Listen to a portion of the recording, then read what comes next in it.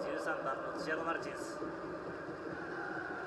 はい。まあ、ビッセルも非常にこう面白い仕組みを取ってますよね、ツートップって言ったけど、ワントップですよね、ドグラスもね、あそうですか。左に古橋、右に山口蛍なんですよ、なるほど。でサンペールが